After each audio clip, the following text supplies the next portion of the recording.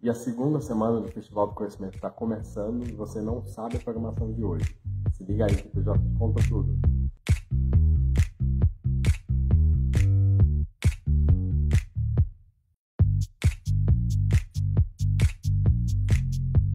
E hoje o dia começou com um debate sobre o futuro do controle de insetos vetores de doenças, destacada a importância da integração de tecnologia e sociedade. Eu aprendi uma coisa essa semana que assim, não é, a gente não está é, não tem o lado bio da força e o lado social da força. Eu acho que é tudo uma coisa só, né? Eu acho que a gente tem que tentar é, é, é trabalhar para essa harmonização e para poder aprofundar as discussões. E do mesmo jeito a gente não tem é, não tem uma tecno-idolatria e nem uma tecnofobia. A gente não vai conseguir resolver com soluções técnicas problemas que são, problemas que são estruturais. Na mesa Pandemídia, Jornalismo e Democracia, o convidado especial, Glenn Greenwald, editor do portal The Intercept, ressaltou a necessidade de um debate interdisciplinar para compreender a pandemia. Eu acho que essa ideia de discutir a pandemia juntos com jornalismo, juntos com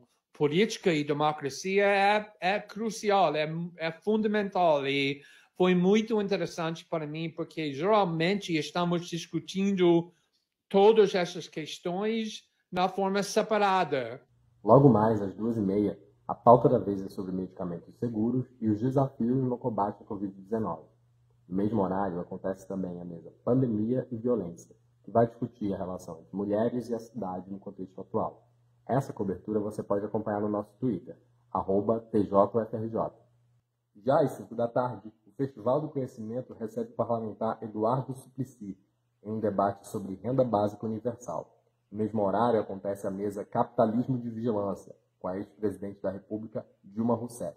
E aí, tá bom para você? Acompanhe toda a cobertura do Festival do Conhecimento nas redes sociais do TJFRJ.